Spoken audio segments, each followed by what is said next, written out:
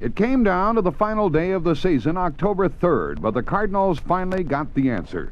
The Atlanta Braves pulled out the National League West title by one half game on that Sunday, and the Cardinals knew their opponent. The first game was scheduled to begin on Wednesday, October 6th, but rain halted the game with Phil Niekro and the Braves leading Joaquin Andujar and the Cardinals one to nothing in the bottom of the fifth. So the next night, they tried game one again. This time it was Bob Forsch on the mound. The dean of the Cardinals staff was making his first ever start in postseason play. Forsch pitched perhaps the finest game of his career that night. He walked none, struck out six, gave up three hits, and shut out the high-powered Braves seven to nothing. But what Cardinal fans will remember most of this game was Willie McGee and the inside the park home run that almost was. Next pitch from Perez.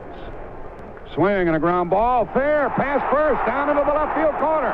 He'll get two. He may get three. Right fielder gets, cannot get the ball. He may circle the bases. They bring him around. He stops for no reason at all at third base. And he's there with nobody out. For no reason at all, he stopped at third base. And the right fielder, Claudell Washington, didn't even have the ball out in the right field corner. McGee was redeemed moments later when he scored on a sacrifice fly by Ozzie Smith. Here's the pitch. Swing and a fly ball to deep center field. That will score the run. Murphy makes the catch. Here comes McGee. The throw. Too late. St. Louis leads one to nothing. That was all the scoring that was needed, but the Cardinals didn't stop. They put on an awesome display in the sixth inning by sending 11 men to the plate and putting things out of reach for the Braves.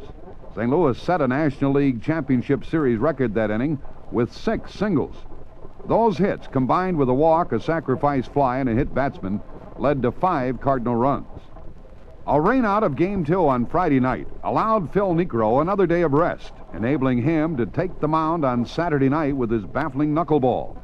The Cardinals took an early lead when Ken Oberkfell scored from third on a wild pitch in the first inning. The Braves took a 2 to 1 lead in the third when a three base error, with a man on base, allowed batter Rafael Ramirez to round the bases on what should have been a single. The Braves picked up another run in the fifth, but they would get only two more hits in the game. Sixth inning, after singling to right, Keith Hernandez scored on a Darrell Porter double to move the Cardinals within one run. Two innings later, with Gene Garber pitching, the Cardinals scratched out a run in typical Whitey ball style.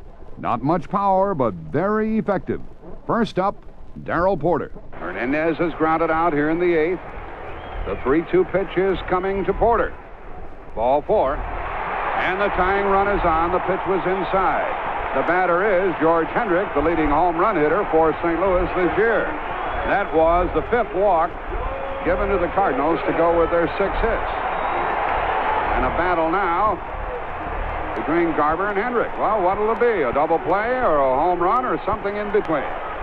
The Braves can get the double play if they can get the ground ball. Royster guards the third base foul line to guard against the extra base hit. And they play Hendrick to pull just a little. Outfielders are really spread out. Porter is not fast. The pitch, swing, and a ball up the middle is a hit. Porter makes the turn. He's going to go to third.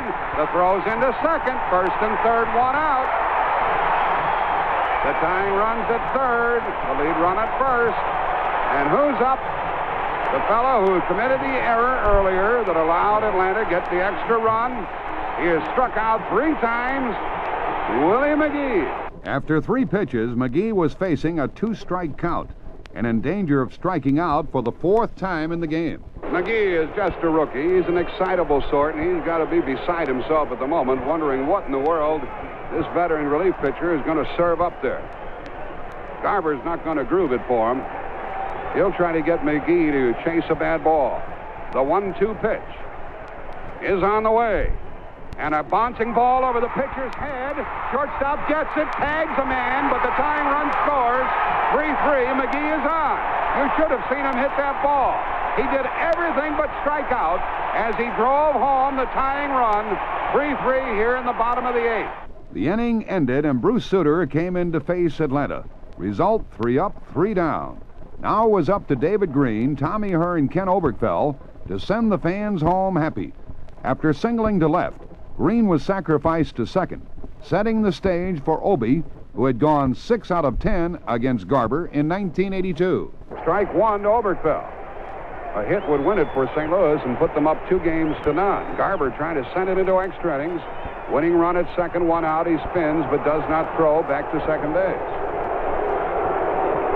And some of the uninitiated yell balk. A single by Green, a sacrifice by Herr, and the pitch to Oberkfell. Swing and a shot to right center field. Butler's on the move. He cannot get it, and the winning run scores. The Cardinals have won the game four to three, and they lead two Butler, the center fielder, came within an eyelash, within an eyelash of making a game-saving catch. He didn't get it. The Cardinals won it, and they're in the spot to sweep. And I repeat, how they could have pitched to Oberkfell is beyond me, but that's not my concern. Both teams traveled to Atlanta that night for Sunday's game. The Braves had fought off adversity all season, and they were determined to do it again. But the Cardinals came out flying high in Game 3, wanting to end things quickly and get back to St. Louis. Second inning, Keith Hernandez had singled and Darrell Porter walked when George Hendrick let his bat do some talking. The pitch to Hendrick. Swing and a line drive, base hit into right. Hernandez will score. Porter goes on to third without a play. St. Louis leads one to nothing here in the second. Next up, wondrous Willie McGee. Ball one the count. The pitch coming. McGee swings and a shot to right center. That ball's a base hit, and that ball goes to the wall. It's already two to nothing. Here comes Hendrick to score. The throw to the plate. They may get him. He is safe, and it's three to nothing. And McGee ends up at third base. It was Ozzie Smith's turn to make a contribution. Here's a base hit up the middle by Ozzie Smith. Willie McGee is home to make it four to nothing. And the fans are all riled up here in Atlanta. A four-run rally and still nobody out, and that's going to be all for Rick Camp as Joe Torre comes out of the dugout. The Cardinals and the Braves each added two more runs before Sutter was called on to put the victory on ice. Sutter laboring to get that final out. His pitch, a swing, and a fly ball to deep center. Willie McGee is under it, and so's Lonnie Smith. It's caught by Lonnie Smith, and that's a pennant winner for the St. Louis Cardinals. The Cardinals win 6-2 and eliminate the Atlanta Braves in three games in a row. So St. Louis, the team that did not have enough power to win, swept three games from the team which led the National League in home runs.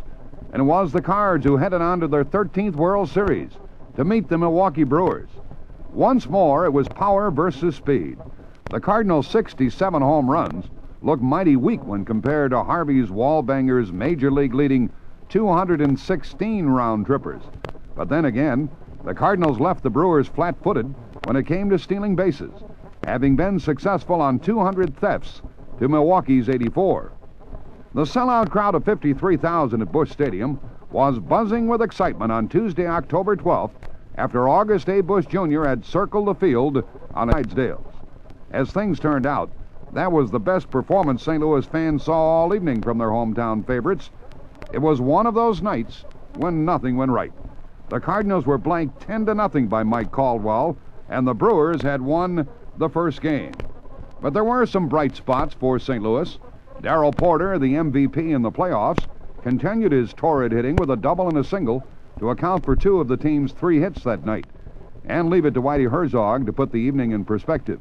He summarized it best when he said, I'm glad we didn't have to play a doubleheader.